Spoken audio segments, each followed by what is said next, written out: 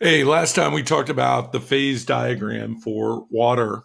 We have a different substance, and initially, this might look just like the phase diagram for water, but this is CO2, carbon dioxide, something that we normally think of as a gas. Let's talk about why we normally think of carbon dioxide as a gas. You know, we talked about our normal everyday existence is at one atmosphere and probably our normal temperature uh, it ranges but our normal temperature is around 20 degrees celsius. So let's say it's right there. That means that under normal conditions carbon dioxide is a, is a gas. And it might uh, you know make sense to us. Co2 is a, a nonpolar molecule. It only has london dispersion forces. So it's really hard to change it into any other phase but you can, and you can do that at relatively uh, low temperatures. So you've heard of dry ice before, and you probably know that in uh, like the theater industry, other industries, CO2 is used uh, to create smoke because you can pretty easily take some dry ice that's at a really low temperature and heat it up at one atmosphere and it will turn directly into the gas phase. You don't even see any um, liquid at at pressures of one atmosphere. By the way, let's talk about that phase change. We go from the solid to the gas phase directly, it's not something we get to see every day, but we call that sublimation. So that's what we just mapped out going at one atmosphere from low temperatures to high temperatures, sublimation occurs.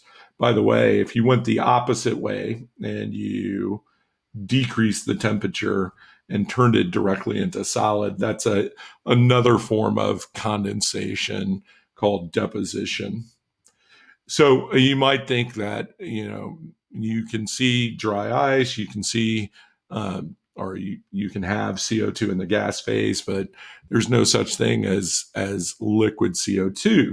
Well, that turns out to not be true. It just exists under extraordinarily high um, pressures. And so if I moved up to, and this the scale on this is not very good, but if I moved up to say this point on the graph right here, and I've got um, dry ice at a really high pressure, it's possible to do what? What did we do just now? We melted dry ice and turned it into liquid CO2 at a really high pressure. And likewise, we could continue along that path and we could hit the boiling point. CO2, just like water, has, you know, typical triple point where all three phases exist in um, in equilibrium with one another. And there's also a critical point at which point you have something called a supercritical fluid. Uh, we didn't mention that in the last video, but it's a fancy way of saying, look, above the critical temperature, which is 31 degrees Celsius, doesn't matter how much pressure you put on that CO2, it's not going to turn into a liquid. You're above the critical uh, temperature or above the critical point. The only other thing I want to discuss about this diagram is a difference in slope in what we call the solid liquid equilibrium line. And the line that I'm uh, specifically talking about right now is right here. Okay. And it's very, very slight, but I want you to notice that it's different than what we saw with water with water, when we drew the phase diagram, sorry for my sketch here, that line kind of leaned back to the left.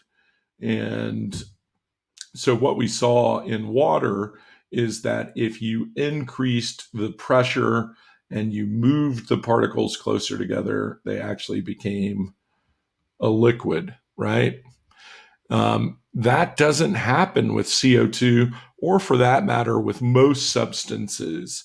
You know, I can barely see it here, but let's say let's say I've got CO2 in the liquid phase and I increase the pressure on that CO2, eventually it would turn into a solid. That that typically makes sense for most substances. You get the particles closer together, that's more in line with what we think of as solids. It also means that if you had a, a dry ice cube um, and you placed it into some liquid CO2, it would act totally different than we would expect because we're used to water and uh, water ice.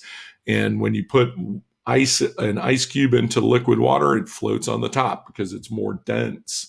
But in most substances, the density of the solid is higher than the density of the liquid. Again, high pressure means high density.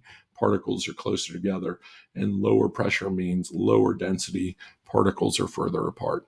So that's a difference between CO2 and water. Okay, we'll talk more next time.